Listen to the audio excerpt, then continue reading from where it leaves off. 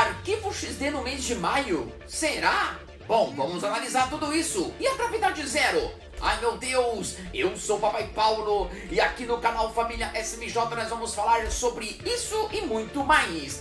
Bora no like, se inscreva no canal se você é novo ou nova por aqui e ativa o sininho. Muitos jogadores não gostaram da ideia de talvez não ter a edição do Arquivo XD deste ano. Afinal de contas, existem muitas perguntas sem respostas daquele evento, não é mesmo? Bom, mas será que tem chances de vir uh, no mês de maio? É isso que nós vamos analisar.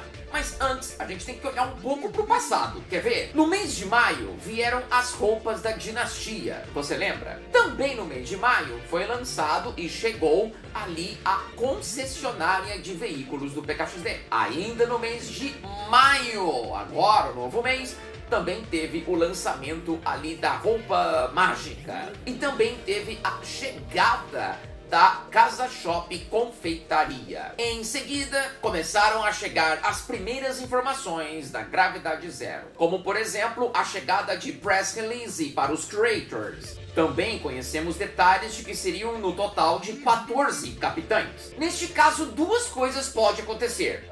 Durante o mês de maio, o PKXD pode ir soltando pequenas novidades como aconteceu no ano passado.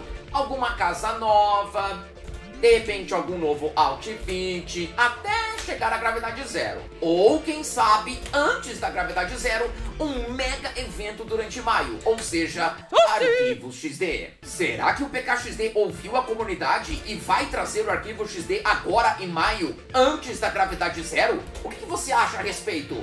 Olha, vamos torcer para que sim.